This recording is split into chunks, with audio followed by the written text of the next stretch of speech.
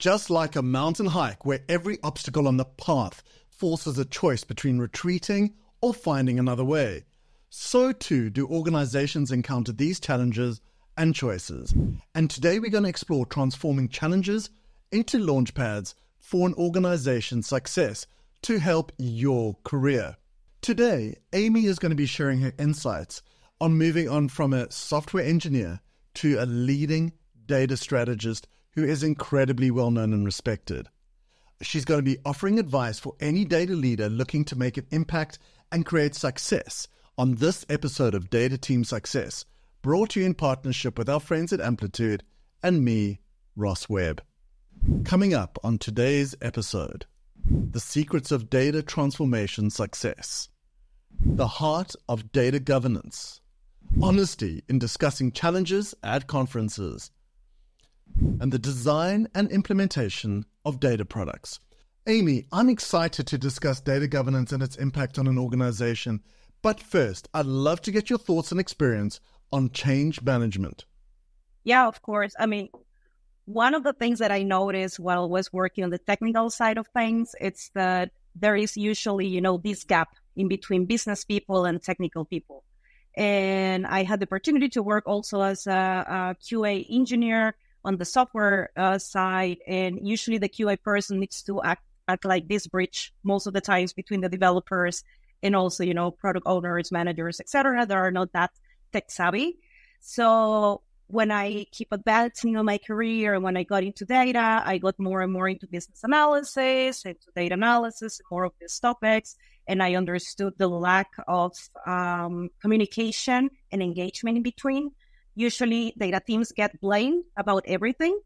And it's like, okay, it's your fault that we don't have the right metrics, the right numbers, etc. But most times we don't get what we need from the business side. So they are expecting us to do magic with just some words like, oh yeah, I want the leads metric or I want uh, this uh, HR metric, but I can I can figure out by myself how to calculate it. But maybe the way you want to calculate it is a little bit different. So you know there are discrepancies in between that you need to bring closer. So that's why I decided to move towards this uh, change management. And I actually did a master degree in digital transformation for businesses just to have this uh, kind of focus, you know, and how to bring uh, companies more into um, the digital space or into data um, data driven companies. Let's say it that way. So that's how I moved there. It's quite difficult. It's quite painful, and you need to really be kind of a preacher, you know, with a book here. Hey, have you heard about data governance? Have you heard about data quality? And just knock doors. People will uh, shut down the doors in your face most of the time.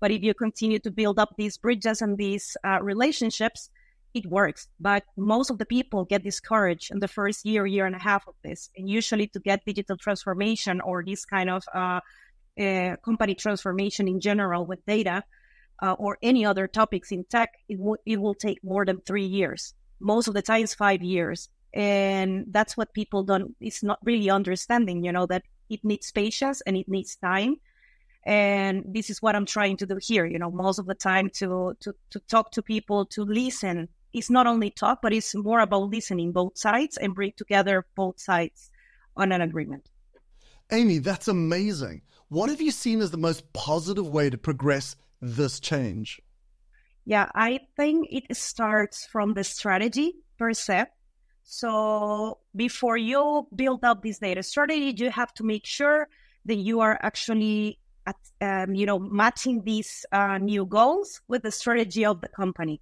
And you need to find allies. So to build these relationships, what I have found the most um, effective, let's say, is is uh, basically find people like the CFO because they are interested, for example, in cost reduction. And that's a big ally on the board that you can have and go and speak to him and maybe fund your idea of what you can do. So building a case for for that for that CFO or for the CPO or the COO, for example, for HR, some metrics, automation for the people from HR where they don't have an intern, you know, because we had the case at some point where we had an intern doing um, some kind of a report on Excel manually, and now we did for them um, all these automated dashboard for HR with all the metrics of, uh, you know, hiring time and interview information and, and attrition rates and all these kind of things. And it's saving time for them. They can u- utilize again this um, this resource, this intern for something else, and they will have automatically this data coming from their systems every month, and they can check this information and present that easily. So this is, I think, these people that is not really like the CDO, the CTO, or even the CEO are good allies, but you need to sell the things a little bit um, different. But if you help the people that are currently having the issues right now, they are going to be more more uh, happy to sell your ideas because you really help them with something they are struggling for quite some time, and you teach them how they can improve their time and save money and save costs and save uh, resources, and then they will advocate that for you. And that's one of the things that I will say are more effective to start driving these uh, changes little by little. So, how do you prioritize what is most important? For example, in terms of reach and impact. Yeah, I mean, um, we we do it mm, depending on the business uh, goals. So, depending on the KPIs that they have, we try to match whatever initiatives we have, and that's how we prioritize. Um, because you know, the, the more you are connected to the to the business, the easier it is to get the buy-in because that's one of the hardest part. When we started bottom up, and it was very painful until we started to match it with whatever they had on top because we, we saw the needs, from example, from the bottom in infrastructure, in the equality, governance, this and this and that.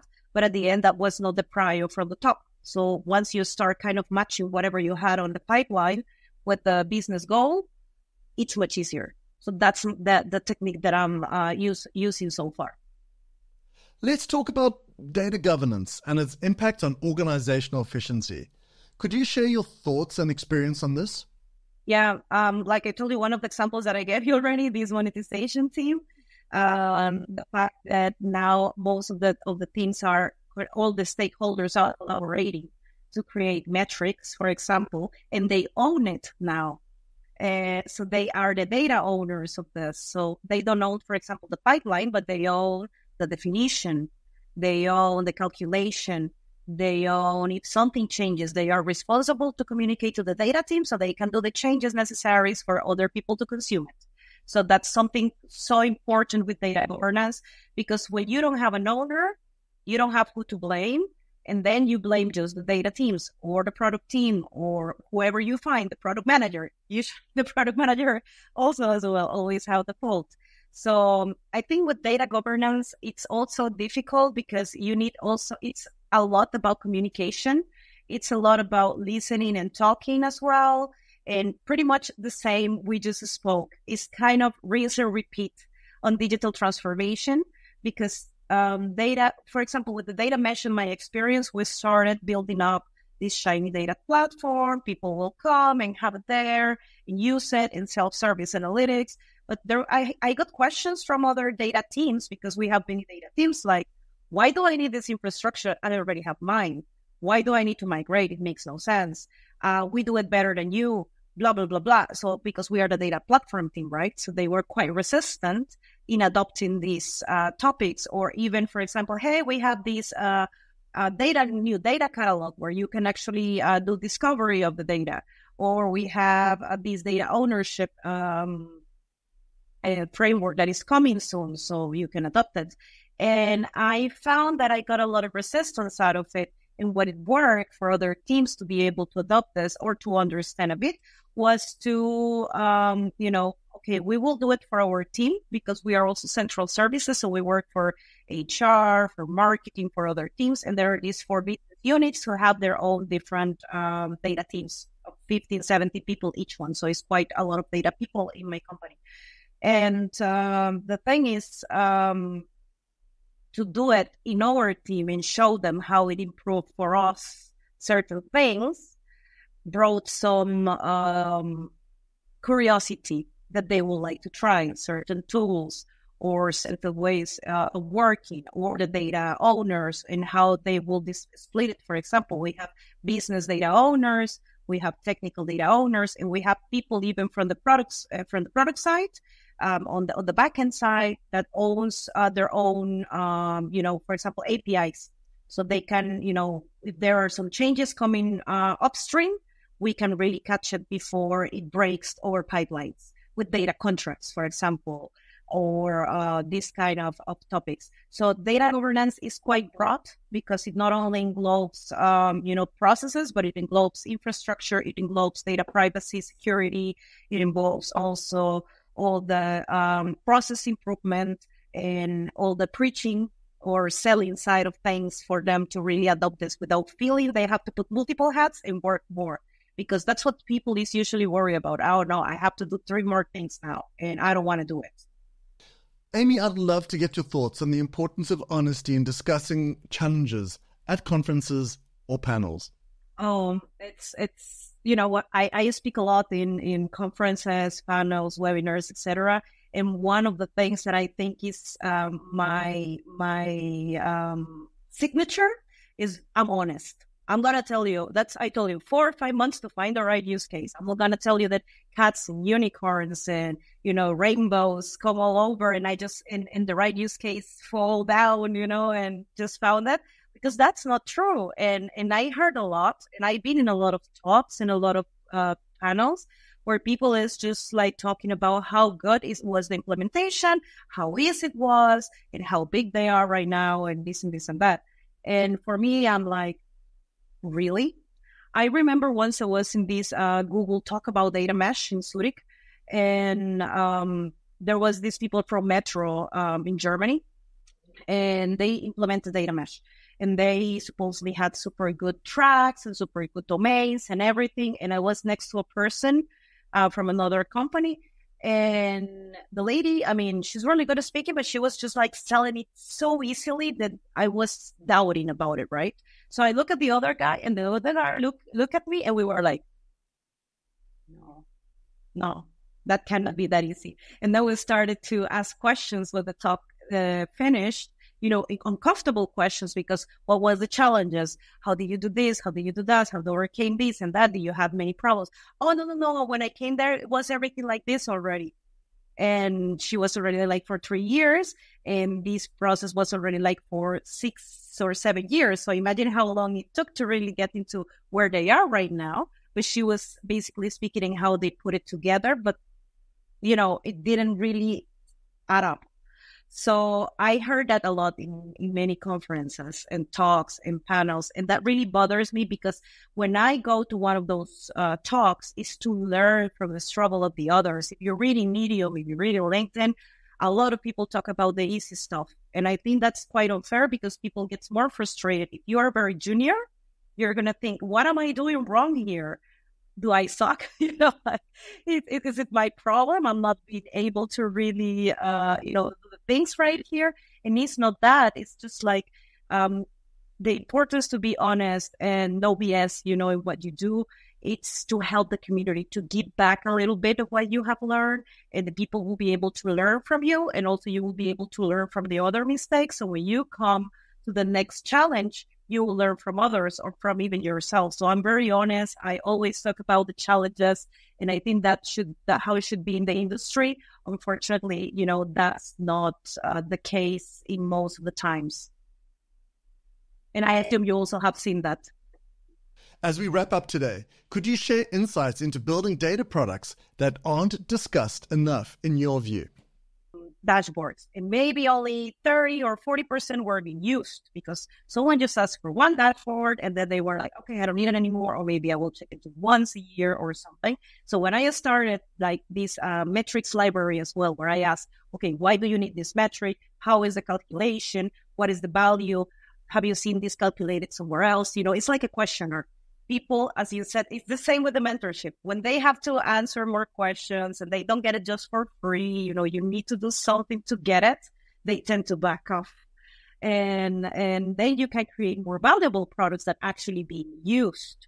And then you can reutilize in your library, you know, certain metrics for other products. So, um, for example, the data product, uh, the data uh, product value proposition will ask you, okay, what's the value of this? Why are you building this product?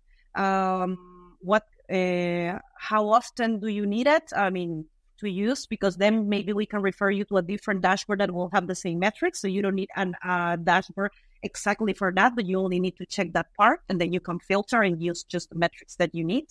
Um, what are the risks? Have you did you have this product built up before, maybe on Excel or somewhere else? And then we assess this, and then we find the right product for this person instead of creating many of them.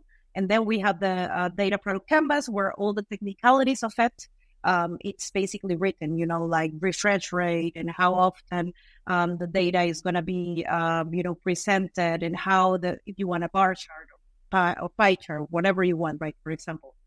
Um, and this is something I have found that is quite a good solution to only focus on products that really matter. Otherwise, you're still getting a lot of requests. Hey, data team, I want this, I want that, do this, do that. And then, as I said, might not be even used or maybe used only once. And also to make the stakeholders to give you the right uh, requirements and not coming out of the data team, but coming from them. So you bring real value. And that's something I have learned over time, not only in data, but in software engineering when I work.